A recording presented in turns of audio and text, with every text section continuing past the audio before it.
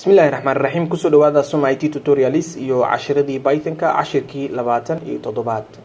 Cashirkan waxaan ku soo qaadan doonaa anonymous function maxaa la dhahaa. Cashiradii ugu dambeeya waxaan ku soo qaadanay requirement argument macnaa types argumentiga keyword argument waxyaabahaas ayaan kaga soo hadalnay noocyada argumentska u kala baxan ayaan cashiradii ugu dambeeya ka soo hadalnay.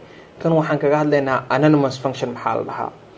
Anonymous function is known as a lambda function that is defined without a name mararka qaar marka aada program sameyneysid functions ayaa la isticmaalaa saa ognahay laakiin waxaa jirta mararka qaar oo kale inaad u baaxatid function aada hal mar keliya isticmaashid hal shaqana kuu qabanayso programka.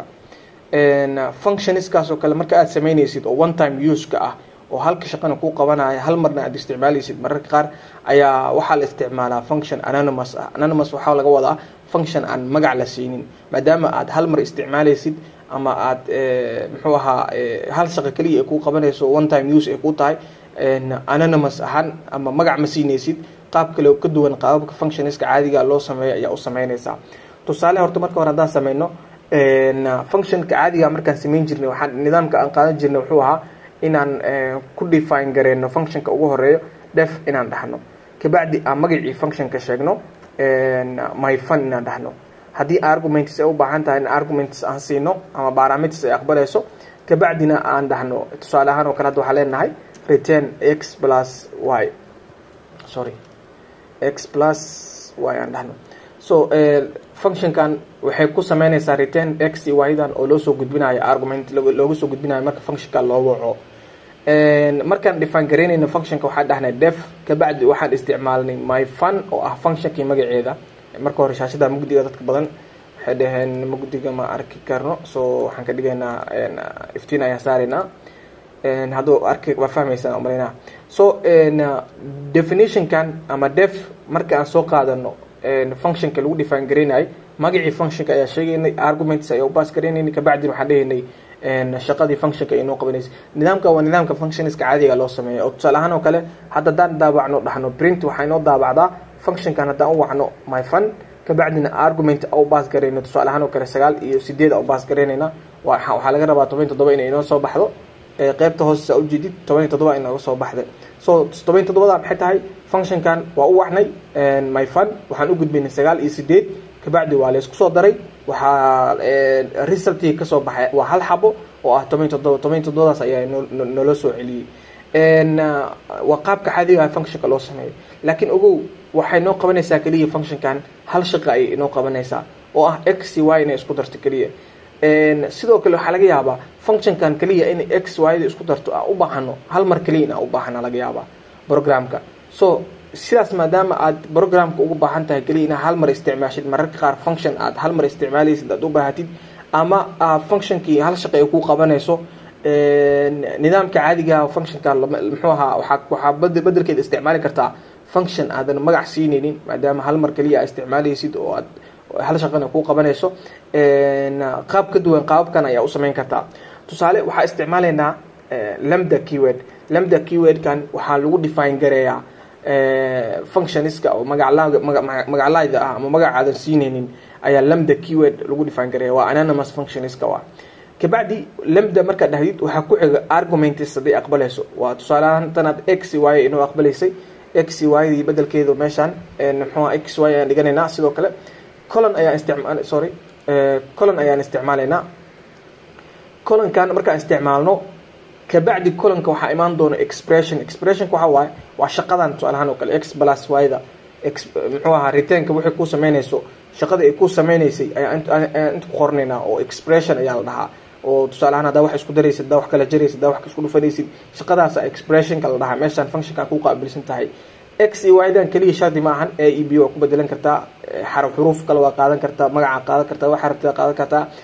Muhiimadda waa inaa fahamtid keliya inay arguments yihiin oo functionkan markaa u ee ku aqbalayso daato inaad soo gudbinaysid. So hadda functionkan waa anonymous function. Markaan daabaceyna maxaan sameyneynaa cut ayaan leenahay waxaan ku dhex qoraynaa printida si aad u fahamtid daatada inay functionka inoo daabaceyso so printida sidaan hadda daata kuguma soo baxaysa toban toddobada ma arkaysid sababtoo daatadhada maadan gudbin. Functionkii la samaysay definitionkeeda la samaysay. Waa inaad daata u gudbisaa. Sidee data ugu gudbin karnaa? Qaabab kala duwan.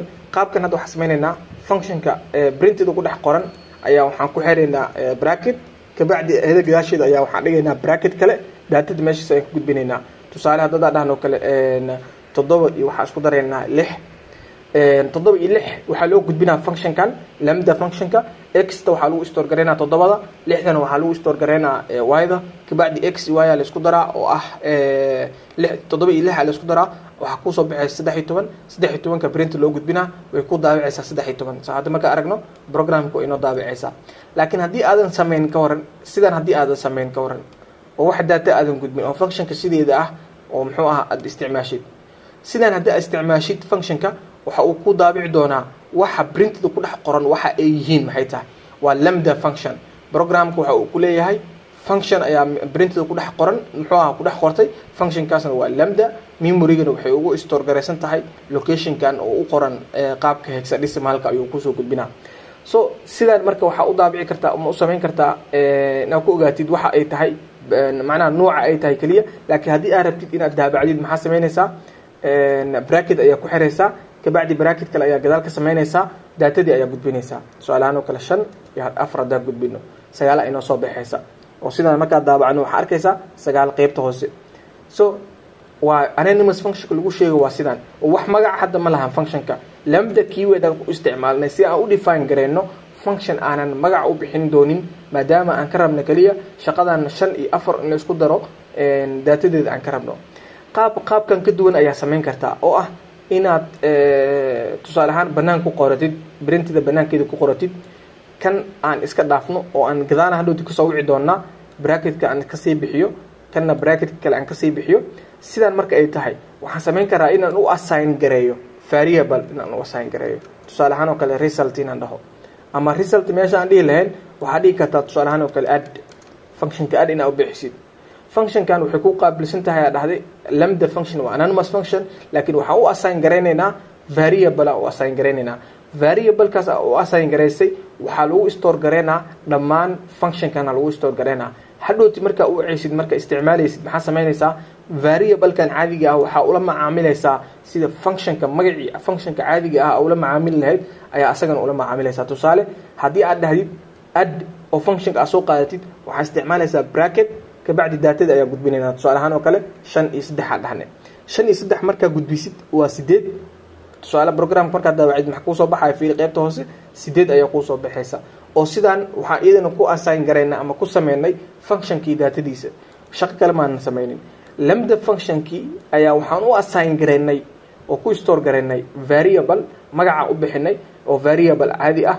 Variablekaasa marka waxaan u isticmaalnay sidii function ah. Qaabkaasna waa samayn kartaa marka haddii aad variableka keligiis isticmaashid oo aadan function ahaan u wicinna waxa uu kuu sheegaa in meeshan waxa ku store garaysan uu yahay add functionka lamda function. Tusaale sidii data arkays oo kale. Function ayaa ku store garaysan lamda function waay memorygana waxay ugu store garaysan tahay locationkaas ayuu kuleeyahay oo qaabka u qoran. Marka qaabkaas ayaa u isticmaali kartaa muxuu ahaa lamda function ama u samayn kartaa anonymous functionka. Sidoo kale waxaa ogaataa argumentigan markaa baasgaraynaysid meeshan waa arguments keliya haddii aad rabtid laba argument saddex argument keliya baasgarayn kartaa tusaale inta badan muxuu ahaa saddex argument keliya aan dhihin. Inta aad rabtid argument baasgarayn kartaa haddii aad rabtid wax argument ma gudbinaysid aday kugu xiran tahay. Tusaale hadda waxaa dhahnay saddex daataan gudbinaynaa tusaale ahaan oo kale saddex shan lix ayaan gudbinaynaa saddex daato saddex daato meeshaan marka aad gudbisid intana aad ka sheegtay labo muxuu ahaa argument inay filinaysa error ayaa ku soo baxaya. Programka markaa rangarayna fiiri waxa uu ku leeyahay functionka lamda waxa qaadataa two positional arguments ayay sugaysay laakiin waxaa la siiyey saddex. Three waa given. So meeshaan saddex argument ayaa muxuu ahaa gudbisay. Ayadana waxay kaa sugaysay laba argument. So tusaaleahaan argument kale ayaa ku daraynaa oo ah z. Hadda programka uu saxmaa wax cilada ma lahaynayso. Laakiin ogow waxa uu kuusoo celinaa sideed sababtoo ah x iyo y bisa isku darnay. Lixdan maanan isticmaalin. Saddex iyo shan la isku daray. Balaas haddaad tirahayd tusaalahaan oo kale z haddaad tirahayd ama ku sii darno waxaa inoo soo baxaysa lix marka lagu daro sideed oo afar toban ah. So intaa marka la isku daro waa afar toban marka. Qaabkan marka iyagan argumentska u gudbin kartaa haddii aad rabtid argumentska ay kugu bataan oo kale oo hadda tusaale ahaan oo kale haddaan mid kale ku sii darno oo kale aan dhahno toddoba aan gudbinayna haddaan dhahno oo aan intan isticmaalno haddana argument kale aan isticmaalno tusaale ahaan oo kale a isticmaalnay plus a aan dhahno o kale daatada saasay mar u sii badanaysaa. Laakiin waxaa samayn kartaa iyadana nidaamkii hore u soo baratay oo ah inaad soo gaabsatid argumentiska taasoo ah star keliya inaad qoratid hal magacna a u qaadatid tusaale aan hadda data u qaadan adi waxaas u qaadan kartaa xarfa u qaadan kartaa daatid data waxaa ku store garaysmayso argumentiska la soo gudbin doono three five six seven ayaa ku store garaysmi doonto. Laakiin qaabkay u store garaysmayso waa qaabka muxuu ahaa tubalka ama hore aan u soo baranay ama tabalka saa utaqaanidba nidaamkaas ayay ustore garaysmaysa haddaan daawacna fiiri data haddaan soo celino waxaa inoo soo bixaysa daatadaas oo tubal ahaan ah. Saa ujeedid tubal ahaan daatadahan inoo soo bixi doonto. Haddaa ratid daatada access garayn kartaa oo waxaad dhihi kartaa index ayaa ku access garayn kartaa data zero lagu daray data one lagu daray ayaan dhehna haddane data tusaale ahaan oo kale two haddana waxaan dhihi karnaa lagu daray data three. Sidaan u isticmaali kartaa. Oo micnaheedu waxa uu yahay data oo ah argumentiga meeshan parameterka ku yaalo kuwa aad soo gudbinaysid three four five kulli ku store garaysan tubal ahaan ah ayaa index ku isticmaalaysaa. Zerodaas three index ayaa lagu access garaynaa onekaas fiveka lagu access garaynaa twodaas sixka lagu access garaynaa threedina seven. Intaas markaa isku dardartid waxaa ku soo bixaysa labaatan iyo koodii muxuu ahaa daata daata markaa isku darnay. Labaatan koodii inoo soo bixaysa qeybta hoose saa ujeedid twenty three ayaa inoo soo bixaysa haddii aad rabtid waxaa samayn kartaa wax argument ah meeshaan ma aqbalaysa dhihi kartaa functionka. Kabacdina waxaan leenahay tusaale ahaan oo kale print ayaan isticmaalaynaa. Oo print tusaale ahaan sida caadiga markaan dhahno waxaan daabicaynaa ka soo qaad oo kale hello ayaan leenahay. Hello ayay inoo daabicaysaa functionkan lambda function. Argumentina ma aqbalayso wax argument ah ma sugayso. So printda dhan ma istic ma u baahnin. Waxaan leenahay keliya ad maadaama functionka print ku dhex qoran yahay oo hello bis inoo daabicayso maxaan sameynaynaa ad bis ayaan leenahay function ahaan ayaa ugu wacaynaa oo haddaa caadi u wacdid oo aad aad dhahdid functionka programka sidiis ma kugu shaqeynayo wax daataa ma arkaysa ujeedid qaybta hoose daata ma lahan. So function ahaana u wacaysa haddii aad programka rangaraysid maxaa kuusoo bixi doono? Hello ayaa kuusoo bixaysa sidaan marka waxay kugu shaqeynaysaa waxay tahay functionka ama lambda functionka arguments inta arabtaa gudbin karta haddii rabtidna argument la'aan ayaa ka dhigi kartaa haddii rabtid meeshan waxaa dhigi kartaa tusaale ahaan oo kale three plus four ay ayaa daa daata ahaan u daabicaysa. Laakiin sidaan hadda ma daabicaysid. Three plus four waa la soo daray laakiin function ahaan waa u wacday print a u baahan tahay. Ila print meeshaan maku taalo so print ayaa leenahay. Markaan daawacno waxaan leenahay inoo daawac seven ayaa inoo soo baxaysa ujeedi so qaabka waa kan marka. Functionka aa u samayn kartid lambda functionska ama anonymous functions aa u samayn kartid. Anonymous function is known as waxaa loo yaqaanaa lambda function that is defined without a name. Wax magac ma la siinaayo and python allows us python wuxuu inoo ogolaadaa not to declare inaanan u declare garaynin functionka sida standard mannerka caadiga ah oo ah in la isticmaalo def keyword. Laakiin rather meesha saas aan samayn lahayn inaan sameyno anonymous functions oo aan u declare garaynayno anagoo isticmaalayna lambda keyword. Tusaale ahaan markaa lambda keyword isticmaalaysidna waxaa ogaataa lambda inay aqbasho ama functionka aqbalayso wax argument aa rabtid inta argumenta siin kartaa sida functionska caadiga ah laakiin waxay soo celinaysaa keliya hal value ayay soo celinaysaa. Midda kale waxaa ogaataa maxay ku kala duwan tahay tusaale ahaan oo kale haddaan dhahno kale x e y ayay aqbalaysaa functionkan waxay soo celinaysaa x e y oo laysku soo dara ayay soo celinaysaa. Maxay uga duwan tahay functionka caadiga ah. Iyada ma lahan wax riteen ah ma lahan ko saa ujeedna wax riteen ah ma lahan. Magac ma lahan functionka tan maadaama myfun aan isticmaalaynay magac ma lahan oo hadda tusaale ahaan oo kale variablekan kaliya ku isticmaalayna laakiin functionka caadiga magac ma def meeshii aan tan ku sameynaynay definitionkooda tan waxaa ku define garaynaysaa lambda. Qaabkaasna ina ogaatid marka iyadana. One value ayay ku soo celinaysaa waxayna kugu soo celinaysaa in form of expression. Expression marka lagu leeyahay waxaa waaye waa marka daata isku daraysid daata kala jaraysid daata macnaha operationska caadiga aad samaynaysid waa anonymous functionska marka iyada mar inta badan maxaa ku jira? Small piece of code ayaa ku jira. Oo hadda sa arkaysid programka hadda aan sameynayn oo kale waaye lamda ayaa soo qaadanay oo keywordkii ahaa. Argument hadda wuxuu isticmaalay inta a bisoo isticmaala. Hal argument ayuu filanaa. Halkaas argument eeda ah ayuu wuxuu ku daraa toban. Hadhowti markaa tusaale ahaan wuxuu ku store gareeyay x. X kaas markaa u wacdid oo five ah u gudbisid. Fiveka waxaa lagu store garaynaa a oo argumentii la sugaayo waaye tobanaa lagu daraya markaas sidaasaa marka waxaa lagu daabici doonaa toban iyo shan outputka toban iyo kugu soo baxaa lambda function marka ani argumentsa qaadan kartaa intaa rabtid oo hadda sidaan arkayno kale laba argument intaa waa ka badin kartaa tusaalahan waa soo aragnay. Waxaa jirta marka sababta loo isticmaalo maxay tahay lambda functionska powerfulka ama muxuu ahaa awoodda ay leedahay lambda function waxaa si fiican ugu ogaan kartaa. Markaad ku dhex isticmaashid ama aad isticmaashid ayaga adigoo anonymous function ahaan ugu isticmaalayo function kale dhexdooda tusaale functionkan hadda ujeedno waxay inoo qaabilsan tahay function caadi ah waxaana ku dhex jira anonymous function kale oo lamda isticmaalayna marka. Anonymous function waxaan ka dhex qornay function caadi ah. Daatadii ayaan u gudbinayna tusaale ahaan functionkan def ayaan isticmaalnay waxaan u bixinay myfun waxay aqbalaysaa hal argument ayay aqbalaysaa oo n ah waxay soo celinaysaa function lamda function ayay ku soo celinaysaa lamda functionkan wuxuu aqbalaa asagana hal argument argumentiga asaga uu aqbalayo iyo argumentiga functionkan uu aqbalayo ayaa la isku dhufanaa resultiga ayaa lagu soo celinaa meesha. Tusaale haddaa program ahaan u sameyno intaan aan programka iska bixino kan aan iska bixino tusaale ahaan oo kale functionkan hal argument aqbalayna soo maahan? Ha waa n meesha return aan dhahaynay caadiga ah aan sameynaynay waxaan dhahnay return lamda ayaan dhahnay. Kabacdi waxaan dhahnay functionkan waxay aqbalaysaa argument tusaale ahaan oo kale a ama x waxaa harta u qaadan kartaa argumentigan markay aqbasho eedan oo lamda ay aqbalayso ayaa waxaa ku dhufanaynaa functionkan kale argumentiga uu aqbalayo oo ah n labadan markaa isku dhufano resultigooda ayay waxay ku samaynaysaa return. Laakiin ogow return markay data samaynayso waxay ku soo celinaysaa whole functionkan anonymous function ahaanay ku soo celinaysaa. Daatadana n muxuu ahaa waxay u taagnaan doontaa mar walba wixii la soo gudbiyo tusaale functionkan ayaan u waceynaa waxaan leenahay functionka magaciisa waxa uu yahay myfun myfun markaa u wacno waxaan u baasgaraynaynaa tusaalahaan oo kale tree waa daatadii caadiga ah functionkan ayaan u baasgarayna tree tree marka waxay inoo soo celisay tusaalahaan oo kale print ayaan ku dhex qoraynaa si aan daatada u aragno. Print ayaan leenahay.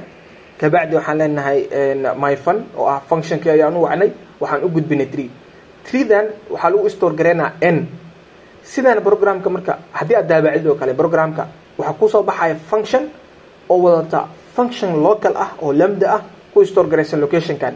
Daatadu waa gudbisay laakiin wax shaqaa ma lahan. Sababtoo ah functionkana waxay rabtaa argument inaad u gudbisid kabacdina aad daabacdid sidee argument ugu gudbin kartaa? Isla functionkan markaa wacdid waxaa lagu soo celinaa daatadan ayaa lagu soo celinaa.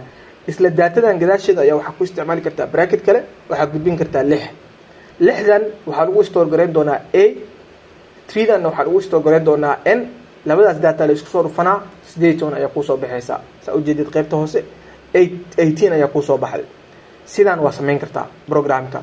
Oo sidaan marka aad samaysid waxa ay kaa saacidaysaa anonymous function. Inaad muxuu ahaa ku isticmaashid function kale adagoo isticmaalayo oo ah myfun waa functionkii magacaa siisay taasoo kuusoo celinaysa markii aad daabacaysid ama daata ah u wacdid functionkaasi waxay kuusoo celinaysaa function magaclaay ah ama anonymous function. Taasaa marka iyadana waxaa u gudbisay six sixkaasaa marka waxaa lagu store garaynaa a treedan waxaa lagu store gareeyay marka horeba n saas daraadeeda marka daatada la daabaca haddaa rabti waxaa samayn kartaa waa si si aad u sii fahantid variable waa ku store garayn kartaa. Oo tusaale ahaan oo kale meeshii aad sidaa samayn lahayd waxaa u wici kartaa tusaale ahaan oo kale functionkii caadiga ahaa oo myfun n argument ayay kaa filinaysaa tusaale tree ayaa u gudbisay. Functionkan markaa u wacdid waxay ku soo celinaysaa tree ayay wadata ay muxuu ah u gudbisay treedaas waxaa lagu store garaynaa n kabacdi waxaa lagu soo celinaa functionkan oo dhan. Kabacdi waxaa samayn kartaa meelaan ku store garaynayna tusaale ahaan oo kale x ayaa leenahay is equal to. Functionkan daatadii ku soo celisay xusuuso. Waa lambda functionkan ayay ku soo celisay. Oo n taasna tree ku store garaysan tahay hadhowti marka maxaa isticmaalaysaa x kaas waa function dabcan saasa sida function ula macaamilaysaa x kaas ayaa waxaa u gudbinaysaa asagana daatadii marka. Tusaale ahaan oo kale for hadda u gudbino waa laysku dhufanaa labada daato labayi tobana soo baxaysa treedaas waxaa u gudbisa marka hore n oo functionka caadiga ah.